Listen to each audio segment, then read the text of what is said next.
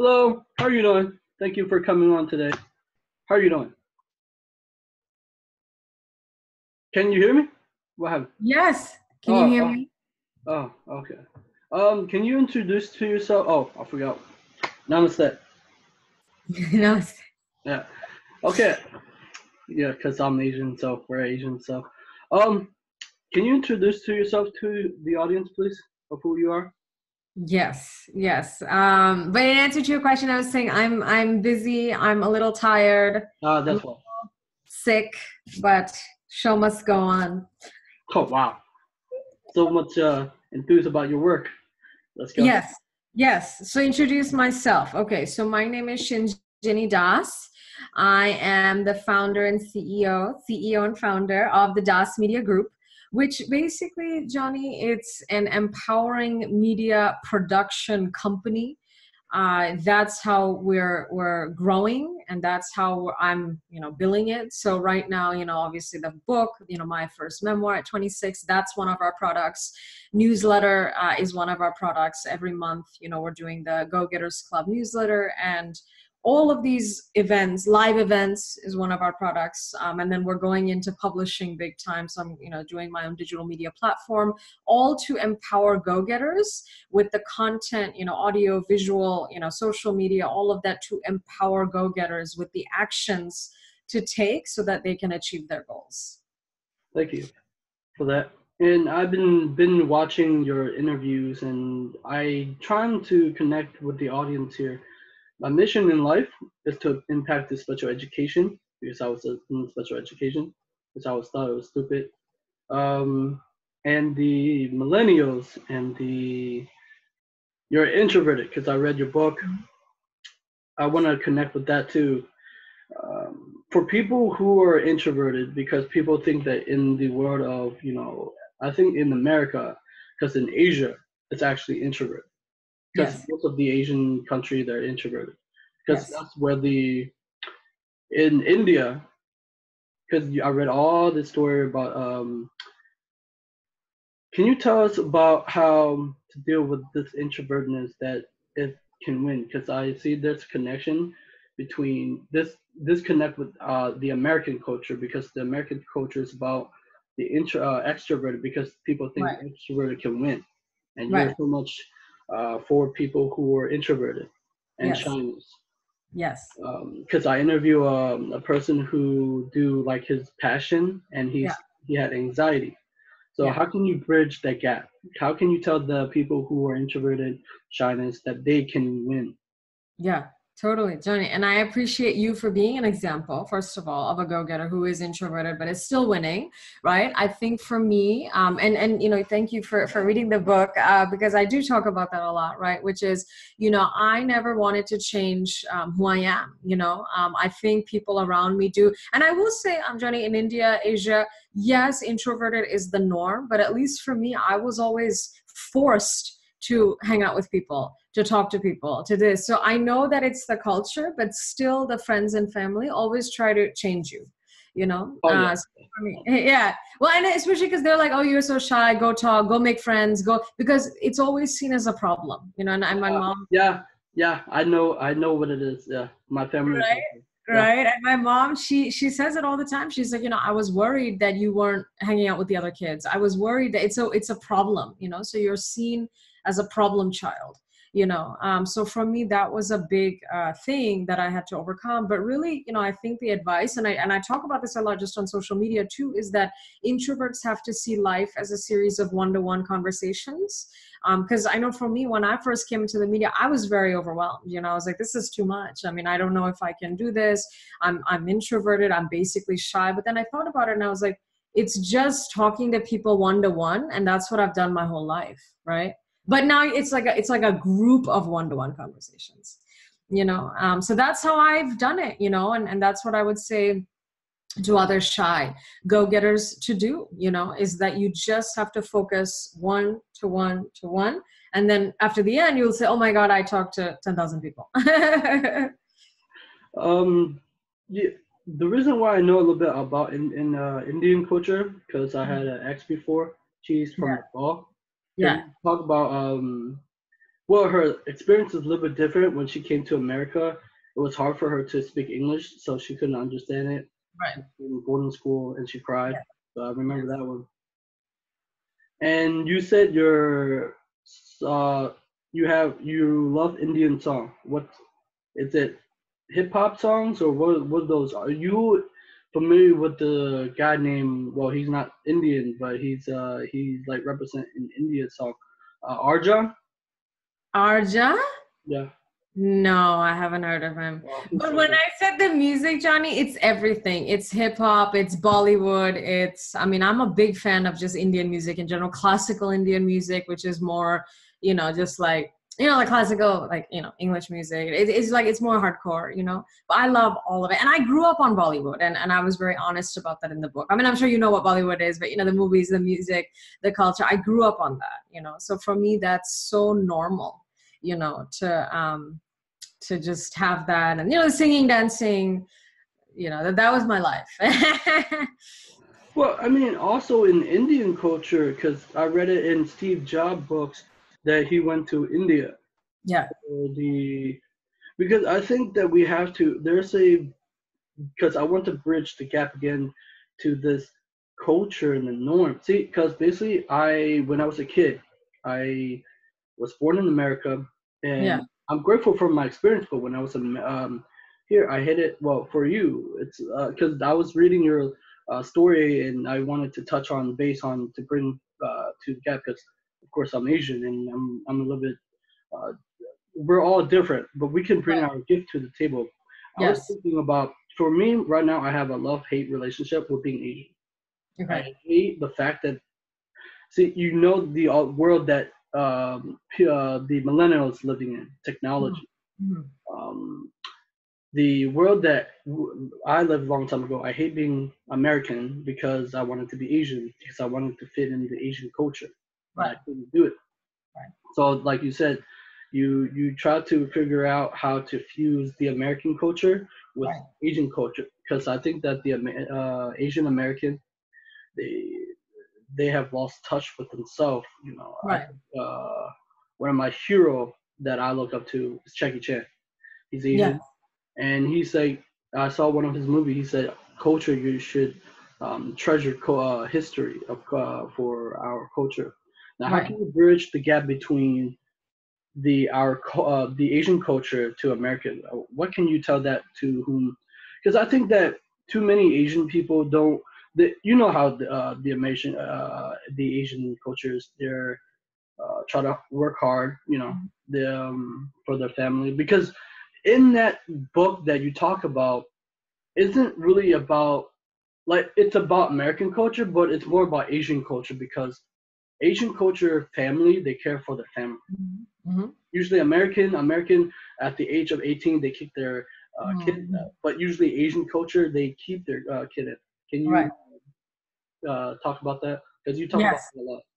yes yes no thank you so much and by the way are you done reading my book was it that like fast Yeah, because I wanted to understand the world that you live in.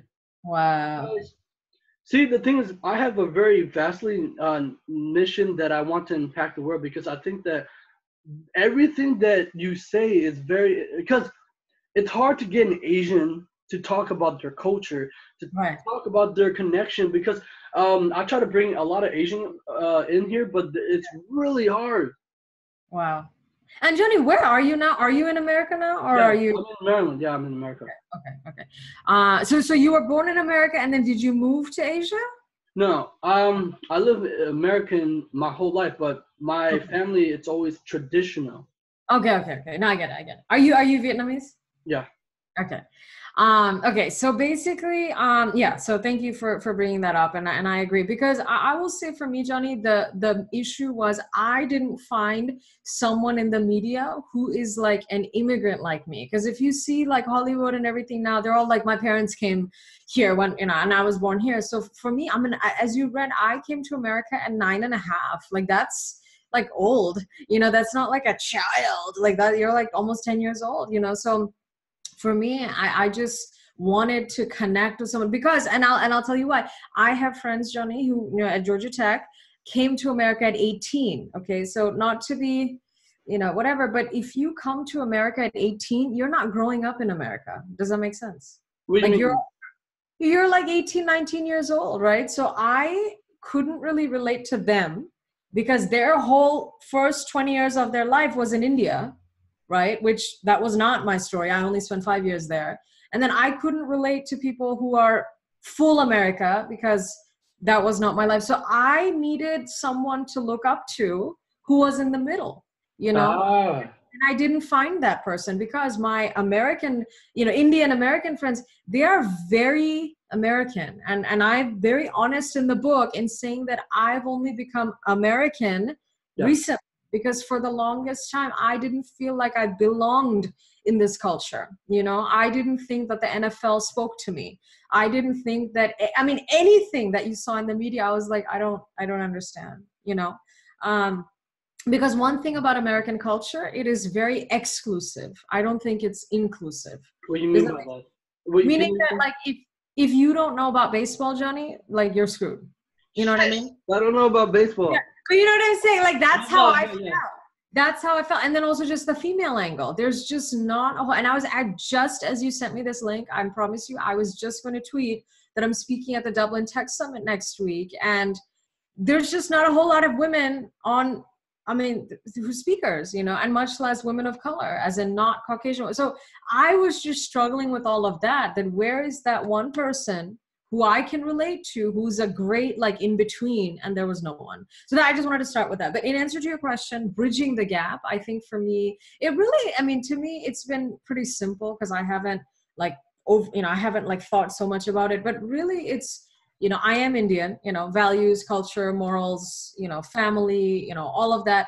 But what I love about America now that I'm like obsessed with is just the freedom you know freedom to create your own life freedom to build your own business. And just for me like being outspoken you know even though i'm introverted you know because the introvert you're right is like very typically asian.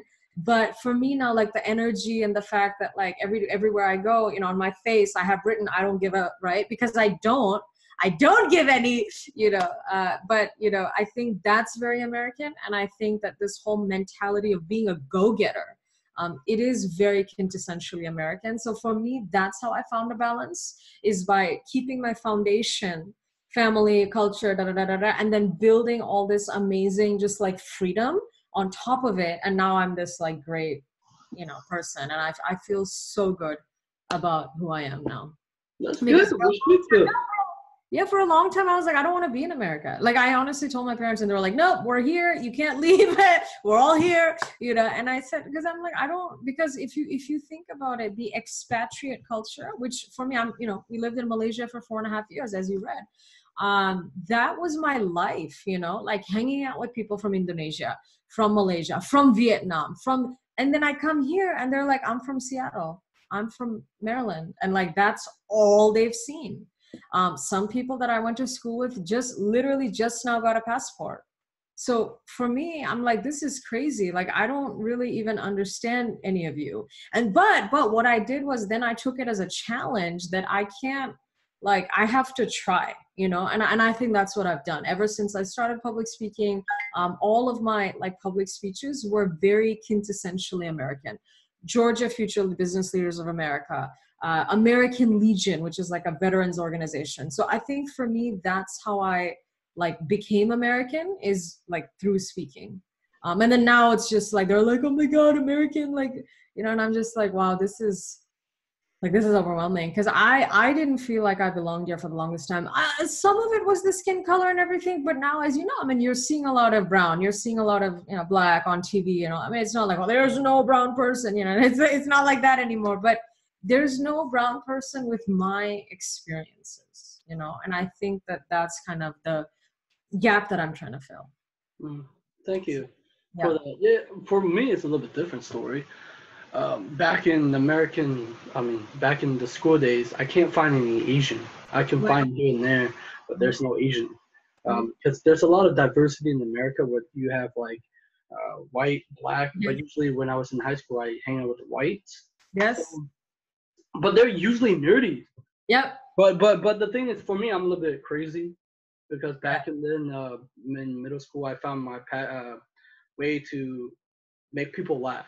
Yeah. I understood how to make people laugh because um, it's it's a dynamic between a person and a human being. Uh, It's just it's just uh, for me. It's just um, try to find a way to because like you said, you wasn't you wanted you wasn't craving attention because you, said that you want you was also because I watch a lot of videos trying to see because you also in the book you talk about solitude Yes. and the thing is and I also hear you talk about uh, let's talk about solitude parties and I hate the fact that people waste their life Hmm. on parties because um, nothing wrong with that there's many different parties Right. um, but the gym, what happened was 21, uh, at 22 uh, or whatever, I listened to Jim Rohn. He said, while people party, you should study. While people Yeah. suck up the sun, you suck up good ideas. Right. Most people, because the thing is, I was watching your uh, video with the um, kid, and it was making me sad that the culture that we live in, the American culture, it's an industry that, because I read a lot of deep in this understanding of the world, Yeah. that we're pushed. So smart. Yeah. no, no, I'm not that smart. I just read. Um, but no, there's an experience that I experienced in life. That okay, so back in 2011, Hmm. I broke up with my ex. We Mhm. broke up with each other. Mhm. But that's where I understand Indian culture. Mhm. Um, Nepal and India are different countries, by the way. But was she Indian? Like, she, Yeah. like, she was true Indian. oh, she was Indian. Okay. Yeah, she was Indian. Um, yeah, because um, the thing is, we um, when we with my uh, what was it? With her and with my um, her friends, Mhm. uh, uh, she had a Indian friend, and Mhm. had all the Indian. We were uh, sitting together at a picnic, Yeah. boarding school. I couldn't fit in because I tried to fit in because I wasn't true Asian. That's my Right. Sure. Sure. Sure. But the thing is, uh, what was it? What was it called? I lost it. That I was trying to bridge, the gap. Solitude, yes. um, introverted, right? So Yes. I read in the book called Quiet Power, the Mhm. Harvard push or push people who are really shy and introverted try to be extrovert, but they're they can't be. That's that causes a lot of anxiety. Can you Right. talk about solitude? That's it's important because I think that it's sad that the American culture because the culture that we live in, Yeah. the school. I know that you don't see it that way, but I say it because I study and a lot of entrepreneurs Mhm. talk about it. Is Mhm. that the school was built so you can work. Have you ever heard Rich Dad Poor Dad uh, by Mhm. Robert Kiyosaki? It's you were Mhm. built to work for the employee instead of being an entrepreneur because you have an Right. entrepreneur mindset Right. while other people have a employee mindset and they don't have a it's said that they don't have a vision can you talk about that solitude Correct. Correct. And I, I yes, I, I follow Robert, and uh, and uh, is who wrote Quiet Power? um uh, susan Susan Cain. yeah Yes, I follow her as well. Um, I love both of them. They're they're. Uh, I, I I I appreciate any uh, thought leader with uh, a movement, right? And I think both Susan and Robert have their movements. Um, Susan is you know Power of Quiet, you know Quiet Power, and Robert is Rich Dad Poor Dad. So I, I love that. Um, I, I, I'm, I'm, a big, I'm a big fan. I'm a big fan of movements. So I think that with solitude, um, and I'm very honest about this, Johnny, that in the beginning, you know, the parents, friends, etc they all tried to change me, right? Go hang out with these people, go talk to these people. Even to this day, like my mom makes fun of me. She's like, "Oh, remember when we picked up this, you know, girl from school, and uh, you know, she was in the car, and you didn't even talk to her, you know?" And so I was always made to feel bad, and frankly, that I should apologize and say sorry because I didn't talk to somebody or whatever, right?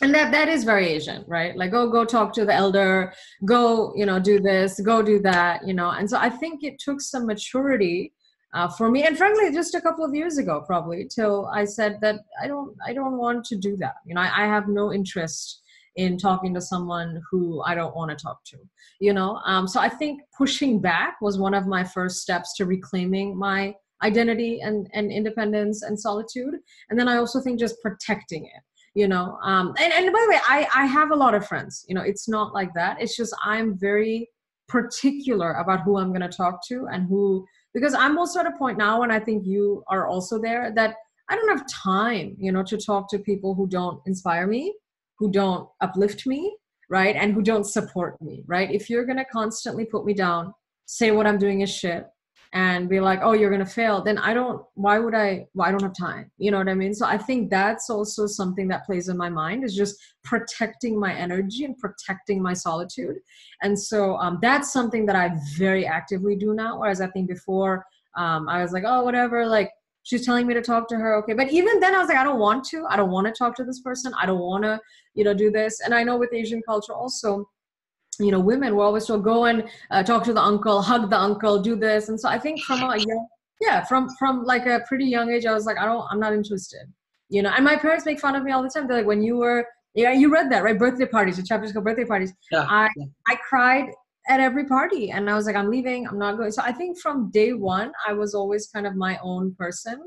Um, but somewhere within the asian culture that did get squashed. And i think america has brought it out again. Does that make sense Mm. Thank yeah. you so much for that. Yeah, yeah. Uh, that's the thing about that um the Asian culture.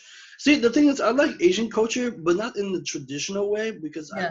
I because I talked to uh, I listened to a lot of videos on Asian culture, and it uh, parent parents make them do the traditional route right instead of right. um because you know uh, instead of following their dreams right you, you of course you follow your dreams that's where mm-hmm. you're um, you're trying to get your message across yeah. see the thing is I, I start to notice because my other mission is to be able to disrupt a industry because I just I don't despise but I hate their thinking for yeah. me because I am when you come to energy mm-hmm. I think you know about this a lot the law of attraction community is what inspired me to do this Right. Because they don't take the action. You always talk about the action. Correct. And that they they wait for all the stars to align, but they don't do anything with it. Right. And when it comes to do you see yourself when you do your dream? It does it bring out the best of you, your energy? You think that all the circumstances align with your vision Meaning my life circumstances have they aligned with my vision? Is that your question? like like do you see that you attract these things into your life? Yeah.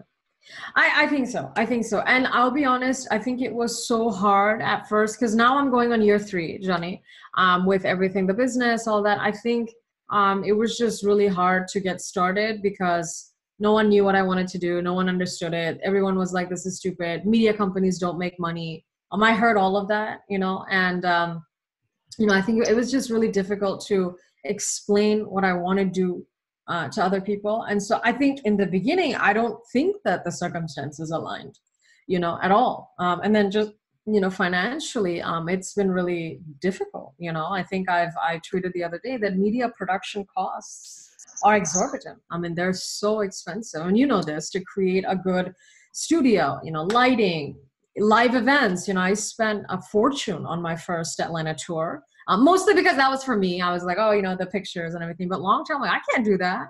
I don't have i don't have the money. I don't have you know the the ability to spend as much as i did there in, in you know every tour in the future.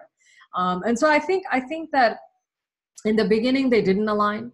I think now i'm really excited and honored to say that they are aligning slowly but surely um slowly but surely. And then i think just you know, I think the importance of activation energy. I mean, every day I have to be asking for a sale. You know, every day, you know, like I messaged you and I was like, hey, read the book. I mean, some people I know they make fun of me for that. They're like, oh, she's always, you know, whatever, like maybe no one wants it and she's like forcing, you know, people to buy. But I'm like, if if you don't know about my book, my like how are you gonna get it you know but but that's the thing though but you but you read my message that's why i'm because basically i was like I was okay. So I was gonna buy it in the morning, but I got like lazy. So because yeah. I stayed late, and I was I slept, so I wake up yeah. late, and then I had to do an interview. So, but the thing is, uh, in that message, um, you didn't know I noticed something that I was watching you. By see, the thing is, you have uh, I read uh, I watch and read. What you did is the same thing as me. Yeah um, for you, you know how to close. Yeah. Oh yeah, yeah. You said that. I think. And yeah. you have, yeah, you have you have the ability to close people. right. Follow up. See, the thing is, with most people, what their dream is, because I talk, I hear you talk about, uh, you have to message a lot of people and try to Yeah. in, uh, spam them, and I did the same way. Because Yes. It's really hard to get an interview with really uh, big people. Correct. Well, it's because for me, I wanted to impact people to be able to.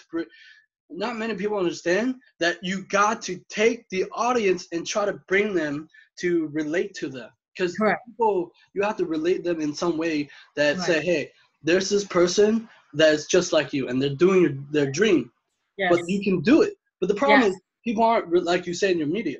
they're not relating like the media is not relating with people. Correct. Well, and I also think, Johnny, I'm at a point where, like, if I talk to, you know, 12 people and they all say no, like, I'm, if you think about it, I'm much closer to a sale than if I didn't talk to anyone. Hmm. That's my, yeah, that's my new perspective. Because I think, you know, rejection definitely, I'm like, oh, God, you know, everybody said no. Um, but now I'm at a point where it's like, actually, if 12 people say no, I'm 12 steps closer to a yes than I would have been otherwise you know? And i think that's a really empowering perspective and that's something that i think about very deeply now because um, basically where we are right now is the book is actually selling pretty well and you know people are like oh we'll buy it this weekend we'll buy this. So i'm you know that's a recurring revenue stream but i'm also trying to build up my newsletter products. You know it's like i'm a go-getter i have a business you know here's $500 can you create like a you know messaging sponsorship you know like that? So i'm trying to sell those and it's a little bit you know rocky. Also because people are like oh i have $50 and i was like i don't have time for $50 you know? So either it's going to be 500 or nothing or a thousand and you know above. So um, that's where i am now is just making more sales. And then also like for me social partnerships um, have been quite a driver last year. So you know calling me like oh is is intuit ready to you know partner again you know so i mean everything i have to you know ask. And i think at some point what happens is you know the right place right time and then they start asking you. Um, so like last year the social partnerships was a very big achievement for me because 2017 johnny you know it's like the uh, you know tweets they'll pay for tweets they'll pay for instagram stories. Uh, 2017 i made no joke $600 $600 from social partnerships. Last year it was five figures Wow. yeah, a huge jump um, in a year, and they all came to me. So they all asked me. They were like, "Oh, do you want to do this?" You know, so now I'm just following up to get repeat business. Um, but they already know who I am. They already know who I am. They reached out to me first last year, which I'm so so you know happy about. Because again, they were like, "We saw what you're doing. You know, we saw your Twitter. We saw because again, Johnny, I was not doing nothing. You see what I'm saying? I was hustling. I was doing my Twitter. I was doing my uh, uh, Instagram, you know, building that up without anyone noticing.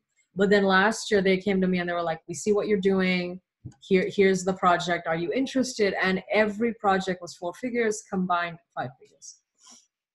Well, It's interesting um, that I had to um, bridge that gap. You said you wasn't.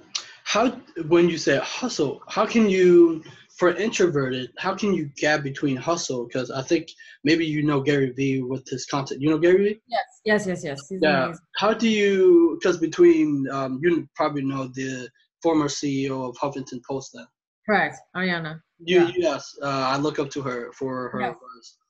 Um, how do you bridge that gap between being a introverted and hustle? Yeah. Because you know Yeah. a lot of people talk about burnout. Sure, sure. And and Johnny, do you do you know what Canva is? Have you heard of Canva? No. Okay, so Canva is this uh, basically web publishing tool um, that you can use to create graphics, imagery, etc. The problem statement before was that um, graphics like an Adobe, um, Photoshop, all this stuff, um, Illustrator, it was just very clunky to use. It was kind of difficult to use. Um, and it had a lot of steps. It wasn't intuitive. So this woman who's my like superhero, um, she's now like early 30s, so a little older than me but created this uh, web publishing tool called Canva. Now it's a you know I think billion plus valuation. Uh, and and where I was going with this is she in her interview with uh, uh, on the podcast How I Built This. Um, she says that you know she's a she's an introvert. You know, so I'm seeing more and more stories of entrepreneurs completely killing the game who are introverts. You know, and I think there's something something about that. Yeah, I think there's something about that because, and, and I thought about her story, I thought about my story, and I think that, you know, for me, like because I get all of my energy from myself. Right, right, right. Dependent on other people to energize me, to help me, to work with me. You know what I mean? Like I'm fine. If like right now I'm in my room, there's no one here, like I'm still okay. You know, whereas I have friends who, you know, freak out. You know, if there's no one talking to them, no one wants to hang out with them. I mean, they're like like like like a puddle of water because they're so sad.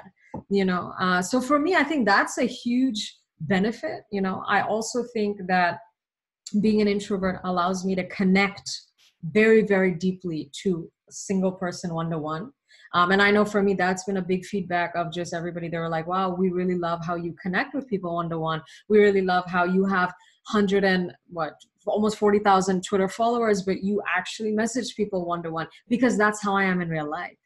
Right, because that's how I am in real life. I talk to people one to one. I'm respectful. I'm polite. I'm, you know, friendly and all, but one to one you know and i think that's a superpower you know i honestly think that's my superpower at least that I'm able to have those one to one connections. Whereas, you know, extroverts sometimes, not all the time, sometimes struggle with one to one. You know. Well, it's because we wasn't taught, and right. I well, at least I wasn't taught in the right. Culture that yeah. we. So the thing is, I hate the. For me, I hate school. I I skip school yeah. and stuff like that. But I, I know about your story about the how you grow up. It's it's really fascinating story where you bridge the gap with, between the uh, American culture. Yeah. The, I wish that people would have see the thing is people force um, that you have for me at least that mm-hmm. you have to force mm-hmm. what subject that you have to learn, but they didn't put you how to win friends and influence people. Right, right, right. And then the uh, book called Power of the uh, Power of Charm by Brian Tracy, with yes. they haven't for me, the reason why I can do this interview because I understand that I have to let you talk about yourself. I mm-hmm. can't let I can put my ideas, but that's the thing that people haven't taught. And so, when it comes to, because uh, I'm interested, when it comes to solitude, can you listen to an inner voice? Like, mm-hmm. do you get this inner voice, or do you contemplate? Do you connect with ideas? Mm-hmm. Yes, yes to all of it. Um, I do, I do, and I think what I've really gotten good at, Johnny, is just like zoning everything out and just focusing on this um and what's inside. And I think there's a downside to that as well because um you know when you are so like inner focused, sometimes you forget forget about the real world you know? Um, because you're like oh you know you know whatever it's all you know they don't matter they don't matter. But you know saying too much that they don't matter is also bad because then you're not realistic right? You're not pragmatic. So i think it's like a very like healthy balance between the two um, but it, it is something that i have gotten super super good at um, because i mean every day right uh, you know parents are like oh you know this is not worth it. Go back to go back to google you know go back to facebook get a real job you know you you can make so much money there. But you know what i try to tell them is you know entrepreneurship doesn't have a wealth um, limit right? Like you can make whatever you know? Um, and if you do it right you know you really can make whatever. But in a corporate job i can't make whatever you know? There's a limit you know? It's not like you know today your salary is 300000 tomorrow it's 500 i mean it's it's not like that right? So you know i think that's frustrating you know to always like hear that is oh this is not working you're going to fail. And then of course just you know um yeah just mostly for me the the issue you know the the like forces are probably family because you know it's, it's just hard for them to understand what any of this is. Um, friends are happy. I would say friends are really like, wow, you're doing so amazing. Wow, you're inspiring me. Wow, you know. So I think you know I I have a lot of outside voices now, but I always just listen to myself. Mm. Yeah. yeah, you're so right. Look, because basically, um, that's why it uh, was it. It's the death of Japan if they don't do anything about it. Because if you hear a Japan story, it's kind of yeah. sad. Right. Most people. That's the thing. That's the thing that um, the American children they built this cock in a machine. Right. Um, I see that um, it's sad for me. Um, I see it's sad that people who go to work every day they clock yes. in, clock out, but they don't have a vision for their life. They don't have right. Right. because I believe that if they do have a vision, if they just work on their dream, amazing things happen. It just crushed my soul. I, I, I, I can't watch. When it comes to okay, let's talk about this. You interviewed Daymond John. Yes. And that's pretty interesting. How did you um, met him, or how did mm-hmm. you get in touch with him? Yeah, no, thank you. Um, thank you for noticing. Um, and yeah, I have to make that more public uh, now that yeah my following has grown. But basically, um, Chase for Business reached out to me uh, uh, October 2017, and again, that was also so amazing because you know, and I and I say this in the book a lot. I didn't have any connections. I didn't know anybody you know so i'm, I'm i mean we're, we're asian families johnny no one i mean unless you're asian family who you know dad is or mom is you know ceo something but most of us we're not like that you know so we're successful but you know still middle class you know still upper middle class. So for me it's not like my dad can just call uh, cnn i mean we don't know anyone there you know? So for me when i first started i was like you know what like i have to do it on my own you know my content has to speak for itself you know i'm i'm you know my my quality has to speak for itself and and that's how i'm gonna make it right? And so for me you know all i had was twitter uh, facebook whatever linkedin you know like my my you know six platforms right? And so i just went hard um, in all of them uh, for a while. And then in October 2017, that was when Chase for Business reached out and they were like, you know, Inc. 5000. By the way, I totally have always known what Inc. 5000 was. So Inc. magazine has uh, an annual celebration of 5,000 of the fastest growing private companies in America. Huge deal, a huge uh, uh award um, party conference. Um, and they were like, hey, so, you know, Chase for Business is the title sponsor of Inc. 5000. By the way, I also bank with Chase, so it worked out really well. Um, my business, yeah, so it was Chase, and so I told them, I said, you know, I'm I'm a Chase fan. You know, this this is great, and so they hired me as their on point reporter um, for the whole conference. And so because, and you know this, I mean, you know media enough to know that whoever pays is king and queen right? So because Chase was literally footing the bill like for the whole thing, or like most of you know the whole thing, um, they could do whatever they wanted, right? Like it's like their conference, right? And so um, I was interviewing a whole bunch of like winners in the Inc. 5000. So these people have founded, started uh, companies on the Inc. 5000, which by the way was super inspirational to me. Um, because you know celebrity entrepreneurs are great but like to me it's also just the average person who has built a million dollar business you right. know? And by the way for the inc. 5000 you do have to pass a couple of million dollars in revenue uh, in a year. So everyone i was hanging out with um, was a multi-million dollar business owner um, which is a huge deal. And obviously that's not something i can say that i uh, meet every day in my life, you know. Um, so I think that was a huge moment for me. So and and, I, and, the other great thing, Johnny, is Chase for Business gave me full control over all the content, so all the videos. I don't know if you've seen all the videos, but that was all my content, um, which is kind of cool and amazing because usually like they will tell you what to say. Um, but I kind of negotiated that in the beginning. I was like, hey, like I'm happy to do this, but just FYI, like this has to be my content because otherwise, like, why would I do this? You know um, yeah so but they were super great. So i i not so much go-getter i think then it was building but i did ask them like just questions that i wanted to ask. So for example daymond john um, we attended a vip lunch with him and at the end of it he was talking about his new book. At the time the power of broke which i don't know if you've read but if you haven't you totally should. It is amazing. Yeah. amazing yeah it is. Amazing just collection of stories of entrepreneurs who started out broke. Very relatable. Um, and so i i so he, he talked a lot and he was like you know i believe he told he told us he said i believe in um, just creating cultures of micro influence um, which was interesting to me because you know i'm coming from the age where it's like celebrity influencers celebrity or bust right? Uh, and so he came up and he's like no you know so, uh, he's he said micro influencers are where it's at 2000 followers 4000 followers but they're like super engaged. You know it's like 4000 followers but with an 11% uh, like rate you know with an 11% comment rate. And so it was just outrageous and they're like so involved and engaged. And he told us he said that's who you should go for in terms of brand evangelists and people who you want them to talk about your brand and everything. And so i thought that was really interesting because again i had never heard like a person of his stature uh, say that, right? Like usually they're like, yeah, celebrities are the way to go, have fun, um, you know, pay them.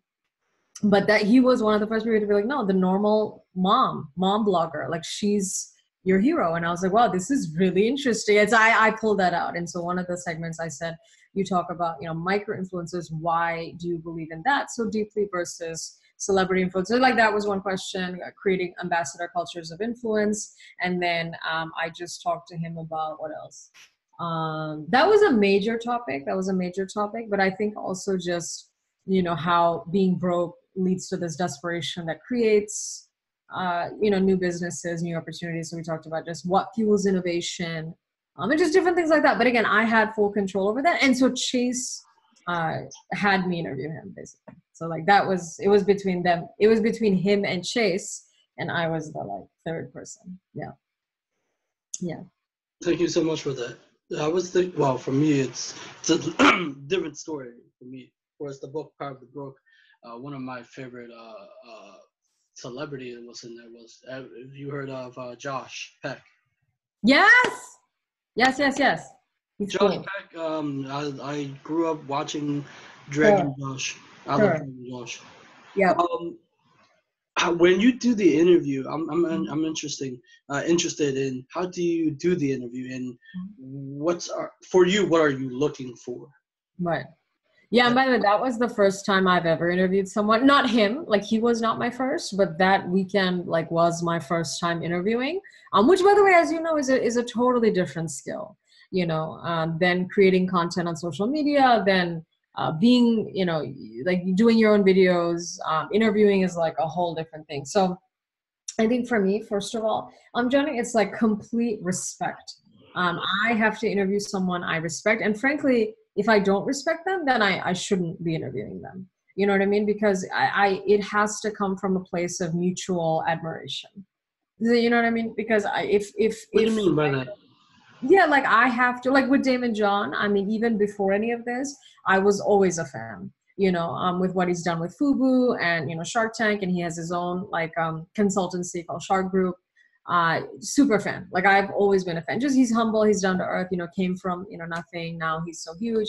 Like that has always resonated with me. So when they asked me to interview him, I was like, great. Like this is like I got this. You know. But if it's someone who I don't intrinsically admire or respect, um, I would probably pass on that. You know, because I like I can't fake, you know, love for them. You know what I'm saying? Like I can't fake um, admiration for them if it doesn't already exist. You know what I'm saying? Um, so I think that for me is the number one thing is just respect. And you know, do I truly love what they're doing? Do I truly respect what they're doing? Um, I think that's number one. And then number two, I would say is you know, do I like do I want to share bits and pieces of their journey with my audience and do i honestly think that my audience will find value in that. I think that's another huge one, you know, um, because for me, uh, you know, my audience, as you've already kind of figured out, it is sort of hustlers, small business owners, entrepreneurs, investors. Like it's very much daymond John you know so when i did that like there's so many people who reached out to me because because i didn't tell anyone about it like it just happened you know we did the chase thing and then they just uploaded the video so it wasn't like hello this weekend I'm interviewing Daymond John. Like, what are your questions? Like, they, I didn't do any of that, you know? And so it was, and people were like, holy shit. And I was like, wow, like, this was such a great fit, you know, from my audience. And, you know, yeah so I, I think you know just stuff like that you know like if i if i go to a beauty uh, conference um, absolutely my people go getters want to look beautiful but i don't think i am the the the expert on beauty you know i think i'm the expert on uh, self love, you know, on uh, self care, maybe on um, how to shine from within. But like, I would not feel comfortable um, interviewing like uh, you know somebody on like the way you do a mascara. I mean, I could do that for fun. You know, I could do that just because it's fun. But like, if you look at just like my expertise, I don't think that it would be like beauty. You know what I'm saying? So like, just stuff like that, I think is very important because people like they can tell like what's real you know? They can tell what's not real. And i think with Daymond John like everyone reached out to me afterwards and they're like wow you guys really like fit so well you know? Yeah. Thank you so much for that. Yeah like i'm a hustler he's a hustler. I mean we're you know relentless you know we're super driven you know like just a lot of the qualities are the same you know? So with him i was like wow like this is like one to one you know? Well at least um because i think that when it talk when it comes to celebrities that's why i think that people who because i want to bridge the gap between people people live in this world where they think that they can't reach their celebrities. For me right. i think that you can because um too many there's the technology that we have we can reach out. Well right. actually thankful to you that you tweet out because i got this guy who wanted to do an interview so i can do an interview with him. Like they're all entrepreneurs. Yes. The one with right. your twitter they're all entrepreneurs. Yes. And that's what i'm trying to build up for my audience. Um, yes. when it comes to but thank you so much for that. And um, for me, when it comes to interviewing, my aspect is to understand the human being of understanding why what they do and why they love what they do. And right. the, for me, I wanted to help the average person because you're a very interest, um, a very inspirational story where you do public speaking. When it comes to that, what make you do? Because you talk about um, you did public speaking and you did them for free. How yeah. do you? What make you do public speaking, and what what is your message for people that are trying to either do their dreams, public speaking? Yeah, totally. And uh, and I will say, Johnny, I do have to run at eleven thirty. Just FYI, okay. I don't know if you're on Eastern time, but okay. yeah. Yes, just a couple more minutes. But um, yeah, because I'm I'm like prepping for the summit next week, and I have to just figure out content for that and all that stuff. Ah, busy, busy, busy. Um, but yeah, so basically, you know, I think um, any go-getter who wants to speak and who wants to start public speaking, I think the number one thing is that they really have to do it. You know, and I think again, coming back to your point, I, I think you'd be so surprised at how many people they just um, they don't do it. You know, they'll say, "I want to be an author, but I don't really write." You know, I want to be fit, but I don't. I don't really go to the gym you know i want to and i get this a lot because again you know my people go getters you know i don't want to say they're all nerdy but um, you know a lot of them right? Because that's why they relate to me right? Like engineer you know like i'm you know I, I was i really was i was a nerd and now i've like had this like style transformation. So a lot of people reach out to me like i need help with my style. You know I, I don't know like how to look good and i'm like do you like if you're if you're a female do you do you go online? Do you learn about style trends? No do you do no. Do you do no. So then i'm like how will like anything happen if everything you're answering no? You know if you're a man if you're a, if you're a boy if you're a man if you struggle with grooming my question is do you know about um, how suits should fit you? No. Do you know about how your hair cut should be? No. So if everything is no then how will you even start right? So for me with public speaking it's like do you even have you ever written a speech? No you know have you ever even tried to deliver it? No. Do you watch ted talks? No. Right? So then i'm like how i mean what do i do? I mean there's nothing for me to do. If all of that you're answering no then clearly you don't even care enough to try right? So i think number one step number one is write a speech okay? What do you want to say? Right? Speak your truth. Structure it. You know i'm a big fan of like writing an essay you know what is your argument? You know what is your analysis? You know what are the counter arguments? Um, what is your thesis? You know what is your conclusion? You know like literally like just let's just go step by step you know let's just go step by step. And so for me that's been a huge help because um johnny in my competitive days i memorized and delivered speech word for word like literally memorized like like just like this you know because for me that was easy uh, now I can't really do that because it's first of all it's so long. You know, now I'm giving two hour long. Eh, that's a long time to memorize. You know, so I, I can't memorize. So for me now, I have to just know very well what I'm doing and saying, and then I can just you know say that. Uh, well. So yeah, so I think I think you know your your style will evolve, but I think what a lot of you and a lot of go getters are struggling with is the substance, right? Because what I learned very early on, um, Johnny, is style is great. You know how you deliver are you empowering are you motivational? But if what you're saying is shit and it doesn't make sense no amount of style can make up for that. You know what i'm saying? Um, because for us and, and i say this in, in the book that i was judged on substance and style. So just because you're pretty and you know you're very empowering it doesn't mean you're going to win. Because if what you say isn't smart and intelligent and correct then it's not going to work you know? So for me even now every time i write i don't think about oh am i going to do this hand gesture or th-? like i don't think about it. I think about what am i going to say first? You know what is my uh, what is my goal? You know so you're going to come to the speech what do you uh, get away from it? What do you take away from it you know um, these are the things that i'm working on. These are the things that i would say that go-getters should work on you know um, because i think that is that's going to make the difference you know? Thank you. And one last question. Yes. What does success uh, look like to you? Because i yes. think millennials um, we have been pressured for me at least uh, to be able because i don't like when people force me to do things. Um, correct.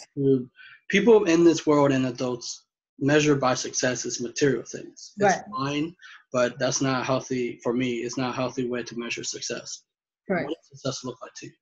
Correct. No, and I, and I totally agree with you, Johnny. Um, you know, having said that, I, you know, I, I love, I love uh, some material things, you know, I, I will say that. And it's been hard for me in the past few months. You know, I haven't really been able to get as many of those because, again, my budget and just income and everything is still so low um, that we're growing. So I'm, I'm not able to get as much as I want, you know, my, you know, because as a woman, I just have like clothes, shoes, yeah, all, all that stuff. Um, so I, I think some of it is fine. You know, I'm definitely uh, not a non-materialistic person. You know, I think there's many things that I want, and I just I get it, and you know that's fine. So I don't, I don't think it's like it's so bad. If you want a car, you get it. It's fine. You know, I mean, if you want jewelry, you get it. It's fine. I'm not saying, but I think the problem that both you and I seem to have with the concept is that's all like I'm worth. Right? The car is me. I'm the car. That's dangerous but me being like i just want these earrings and like that's not bad. You know what i mean? I think that's how i look at it. Um but i think that materialistic pleasures only take us so far. And I, will tell you one story. At georgia tech um, i had a couple of advisors who kept not not to me like they were not talking to me. They were just telling us as a whole. They kept saying that you know live a life of service. Live a life of service. Serve others you know um, help others serve others. And i'll be honest with you you know because of the culture that both of us come from asian culture i'm not trying to be rude but we're never really told to serve others. It's always about you know get rich make it yourself you know protect your family die. Like that's pretty much it you yeah. know so yeah. So there's not a whole lot of like what are you going to do to serve others? And so i and i'll be honest the most of these advisors were caucasian so white at georgia tech and i kept thinking about that that what does that mean that serve others? And then i was like do i do anything to serve anyone? Because at this point i'm at georgia tech and i'm getting my degree. I'm working at deloitte. It's all for me pretty much right? So um, what am i really doing to serve others? Because they kept saying that that is the highest you know form of living. And that's what they kept saying that service. You know there are a lot, a lot of them are very church uh, going you know so they were like this is the highest form of living. It's to serve others. And you know for me you know, as an achiever you're like i want to be at the highest form of living you know? So then i said that what does serving mean? And then i tried to you know peel back all the layers. And then i was like you know what? It me- essentially it means that i have to provide a lot of value to a lot of people right? And then i peeled that layer back and i said what can i do to provide a lot of value to a lot of people? And then i peeled that layer back and i was like you know what? I really think speaking is the way you know? I, I really think that that because you know if you think about it like each speech i mean it's so many people you know that you can reach.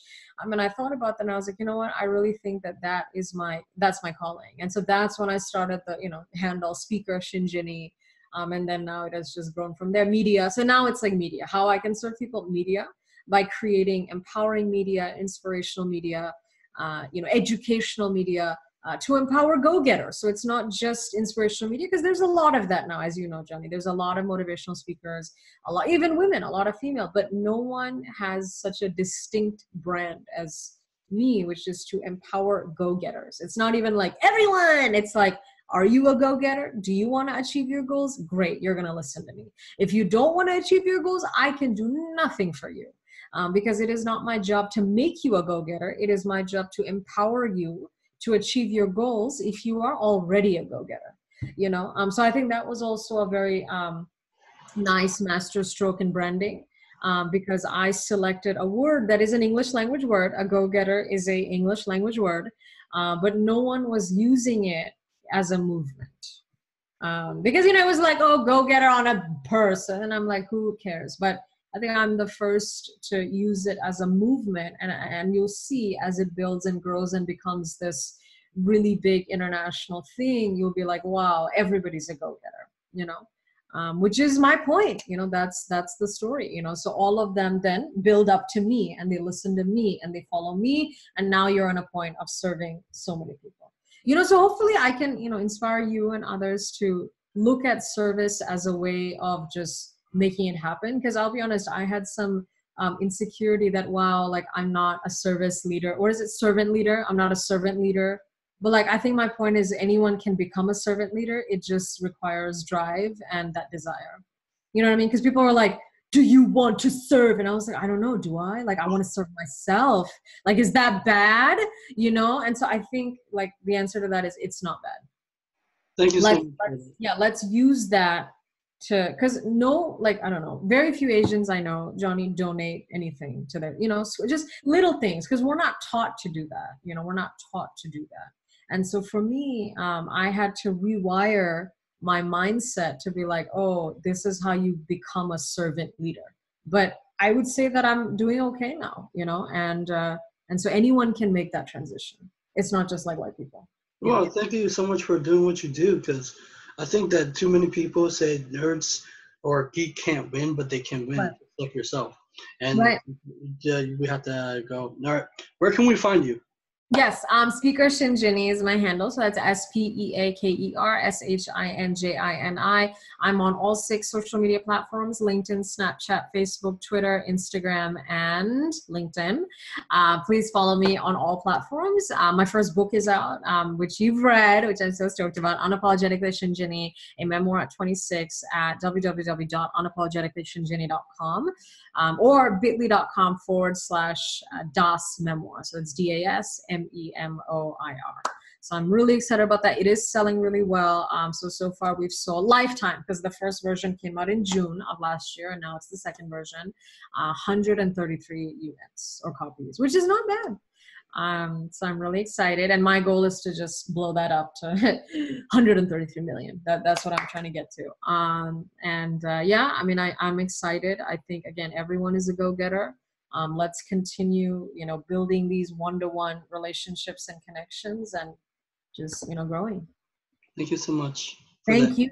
Thank you Thank for being a go-getter man. Well i mean i don't even know what that is. What does that mean? Yeah so it's a it's a person who has a goal and who wants to achieve it. Like that's the easiest way to explain it you know? Um, if you google it it'll be like aggressive achiever but really it's like do you have a goal? Do you want to achieve it? Are you doing something to achieve it you're a go-getter and now if it's like if you need help to achieve it then you come to me you know motivation help whatever yeah so Okay. Well, it's not that I'm against uh, Asian. Uh, it's just that right now, I think you're right. We should live not for. I think that's the problem with jobs. Right. They're, they're living to survive. They're not right. living of service. Exactly. Exactly. No, you're right. You're right. And and and by the way, I think you said Robert said that. I'm hundred percent in agreement that the media, the culture, just the world we live in conditions us to be employees. Mm-hmm. Uh, doesn't condition us to make unlimited amounts of money. You know, right. big so I'm having to every day, Johnny,